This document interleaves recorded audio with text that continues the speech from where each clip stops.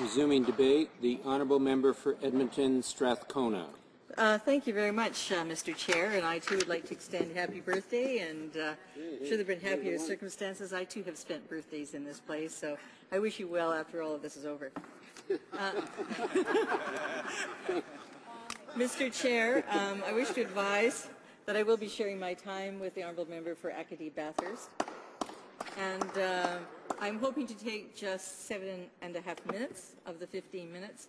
If you could let me know when I'm close to, say, a minute left. Thank you very much.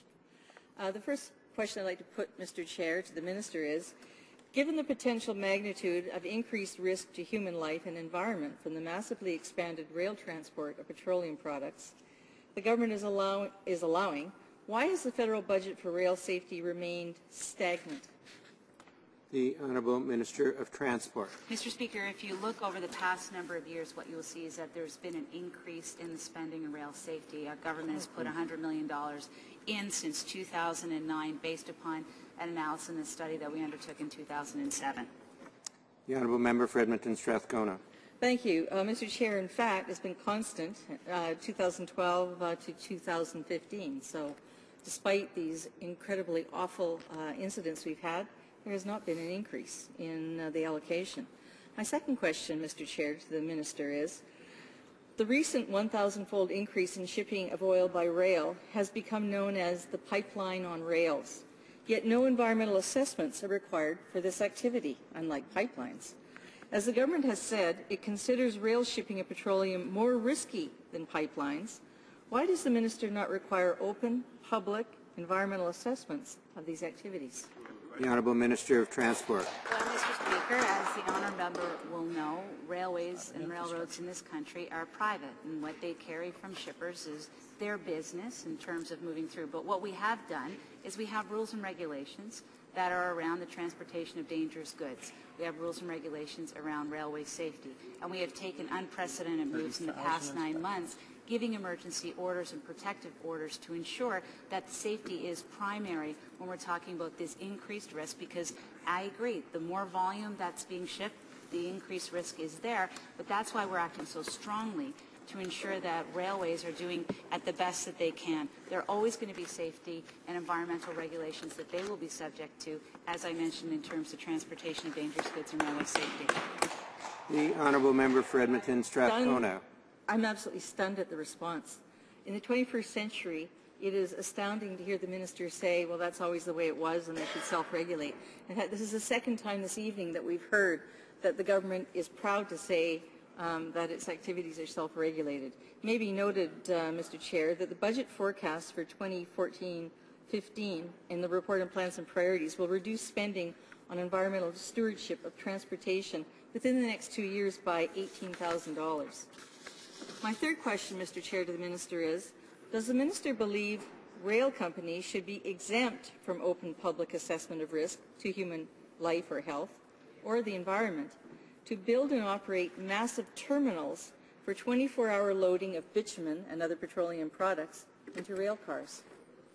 The Honourable Minister of Transport. So with respect to the particular example that the Honourable Member has given, I do believe that in order to uh, construct anything in the country, you probably have to do an environmental impact statement or a study, depending upon who's giving you the permit to do the construction in the area. It's not on federal land, so I can't speak to the details of it. I can tell you this, for the operation of key trains, which includes even a single, a single tank car of crude oil in this specific instance, we do demand that a safety assessment, that a risk assessment be taken into consideration, that be carried out in consultation with the Federation of Canadian Municipalities, and to make sure that they are doing what they can and to have all the operating procedures to keep the train on the tracks as part of their operation. And further, if the system is one in which the dangerous goods, such as crude oil, is being loaded at a facility, our inspectors under the Transportation of Dangerous Goods Act can inspect the facilities as well, too.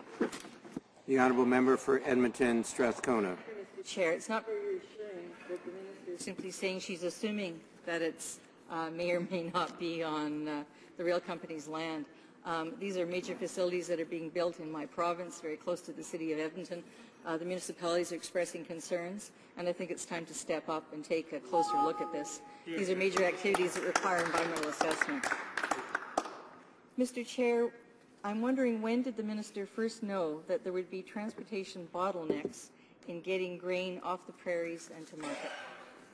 The Honourable Minister of Transport. Uh, Mr. Speaker, we became aware from CN and CP that they were having difficult in winter conditions in January.